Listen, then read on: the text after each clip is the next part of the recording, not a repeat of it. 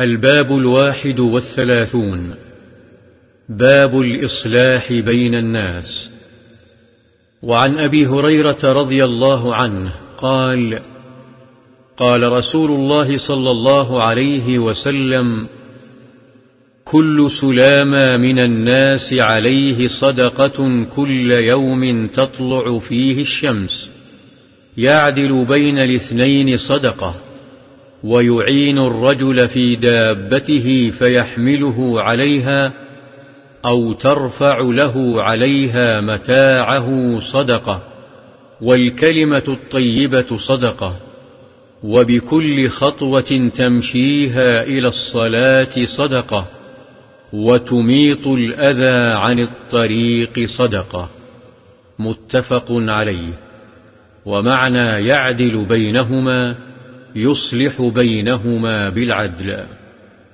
وعن أم كلثوم بنت عقبة بن أبي معيط رضي الله عنها قالت سمعت رسول الله صلى الله عليه وسلم يقول ليس الكذاب الذي يصلح بين الناس فينمي خيرا أو يقول خيرا. متفق عليه. وفي رواية مسلم زيادة قالت ولم أسمعه يرخص في شيء مما يقوله الناس إلا في ثلاث تعني الحرب والإصلاح بين الناس وحديث الرجل امرأته وحديث المرأة زوجها. وعن عائشة رضي الله عنها قالت سمع رسول الله صلى الله عليه وسلم صوت خصوم بالباب عالية أصواتهما. وإذا أحدهما يستوضع الآخر ويسترفقه في شيء وهو يقول والله لا أفعل. فخرج عليهما رسول الله صلى الله عليه وسلم فقال أين المتألي على الله لا يفعل المعروف؟ فقال أنا يا رسول الله فله أي ذلك أحب؟ متفق عليه. معنى يستوضعه يسأله أن يضع عنه بعض دينه ويسترفقه يسأله الرفق والمتألي الحالف. وعن أبي العباس سهل بن سعد الساعدي رضي الله عنه أن رسول الله صلى الله عليه وسلم بلغه أن بني عمرو بن عوف كان بينهم شر. فخرج رسول الله صلى الله عليه وسلم يصلح بينهم في أناس معه. فحبس رسول الله صلى الله عليه وسلم وحانت الصلاة. فجاء بلال إلى أبي بكر رضي الله عنهما فقال يا أبا بكر إن رسول الله صلى الله عليه وسلم قد حبس وحانت الصلاة فهل لك أن تؤم الناس؟ قال نعم إن شئت.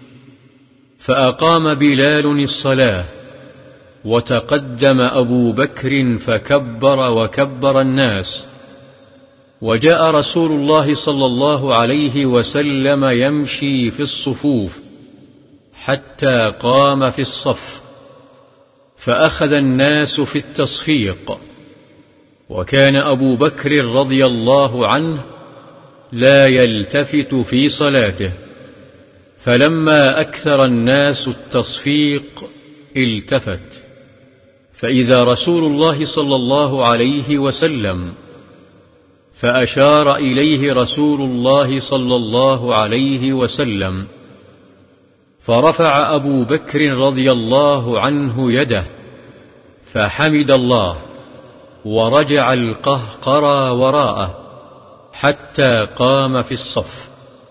فتقدم رسول الله صلى الله عليه وسلم فصلى للناس. فلما فرغ أقبل على الناس فقال أيها الناس ما لكم حين نابكم شيء في الصلاة أخذتم في التصفيق؟ إنما التصفيق للنساء من نابه شيء في صلاته فليقل سبحان الله فإنه لا يسمعه أحد حين يقول سبحان الله إلا التفت. يا أبا بكر ما منعك أن تصلي بالناس حين أشرت إليك؟ فقال أبو بكر ما كان ينبغي لابن أبي قحافة أن يصلي بالناس بين يدي رسول الله صلى الله عليه وسلم. متفق عليه. معنى حبس أمسكوه ليضيفوه.